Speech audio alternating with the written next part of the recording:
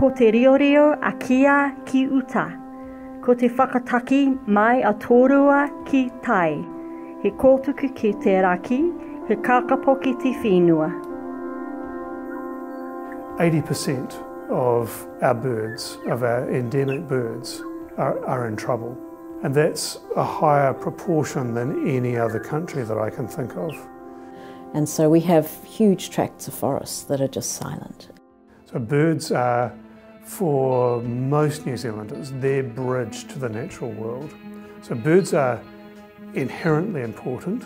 You know, the, so many of our bird species are found only here. If we lose them here, they're lost to the world forever. It sort of crystallises New Zealand's conservation challenges to keep what's unique to New Zealand and what we give to the world as our unique contribution to that avian biodiversity. And so that is a really hard fact, is that um, New Zealand's got a huge way to go to get its um, endemic birds back into those landscapes. So the key objective is to collect bird observational data that helps make conservation management decisions, particularly relating to habitat restoration and predator control. The Atlas is really the biggest, um, I think, citizen science project in New Zealand. It involves um, people from the Ornithological Society of New Zealand, or Birds New Zealand, and others um, in collecting information about what birds are where.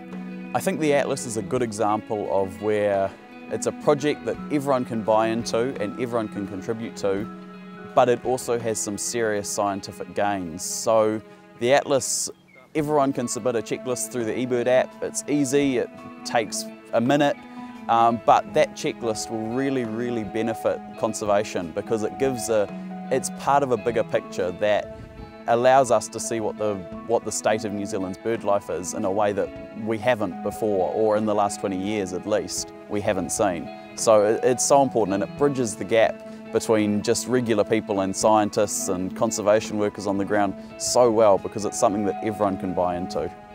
So the Atlas is going to be a powerful tool to move us forward and start making better decisions for restoring our natural ecosystems and the wildlife within them.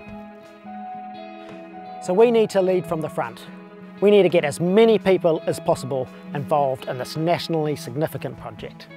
So to get started, Go to the Atlas website and there's a whole lot of resources there. But ultimately, download the eBird app and get out there and start atlasing. We've made it as simple as could possibly be.